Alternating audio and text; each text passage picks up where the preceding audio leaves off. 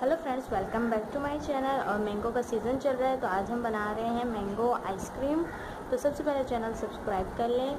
तो उसके लिए ये मैंने सबसे पहले कंडेंस मिल्क लिया है। ये पूरा एक टिन मैंने लिया है। और ये हाफ़ के जी आम के मैंने प्यूरी बना ली है। और ये एक पैकेट नेस्ले क्रीम की ली है मैंने। तो ये तीन चीज़ों से हम मैंगो आइसक्रीम रेडी करेंगे। तो ये क्रीम को बाउल में निकाल लिए। अब हम इसको बीट करेंगे हाई स्पीड पे एक से दो मिनट के लिए।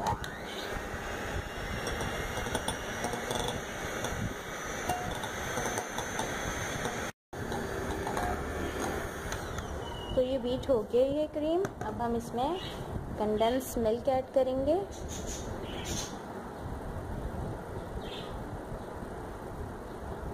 कंडेंस मिल्क डाल दिया। कंडेंस मिल्क डालने के बाद इसको दोबारा से बीट करेंगे। तीन से चार मिनट तक के लिए इसको अच्छे से बीट कर लेंगे तो ये अच्छे से कंडेंस मिल्क भी क्रीम में बीट हो गया अच्छे से। तो अब हम इसमें ये मैंगो प्यूरी ऐड कर देंगे। मैंगो प्यूरी ऐड करने के बाद हमने सिर्फ़ इसको एक मिनट बीट करना है, ज़्यादा नहीं, सिर्फ़ एक मिनट।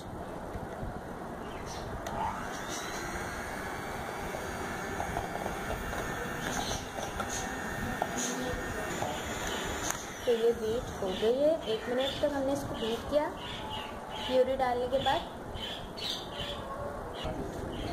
अब हम इस पर प्लास्टिक रैप कर देंगे। प्लास्टिक रैप से हम इसको कवर कर देंगे अच्छे से।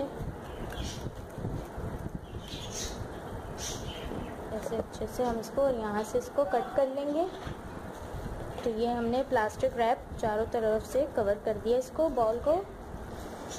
अच्छे से। अब हम इसको फ्रीज़र में रख देंगे ओवरनाइट के लिए या फिर आठ से दस घंटे के लिए। तो ये ओवरनाइट आइसक्रीम को हमने फ्रीज़र में रखा और अब निकाल लिया है तो इसकी प्लास्टिक रैप हटा देंगे। तो ये आइसक्रीम जो है वो परफेक्टली जम चुकी है। तो स्कूप से इसको निकाल लेंगे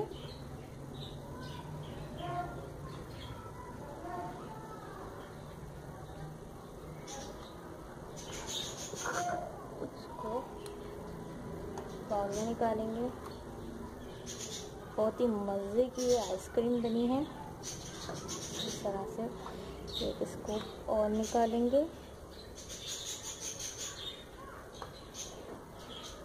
ये।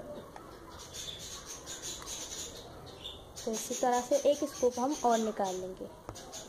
तो ये हमारी बहुत ही क्रीमी सी मैंगो आइसक्रीम रेडी हो गई है। आप इस गर्मी के मौसम में मैंगो के सीज़न में इसे ज़रूर ट्राई कीजिएगा, मुझे फीडबैक दीजिएगा और चैनल सब्सक्राइब करना मत भूलिएगा। Thank you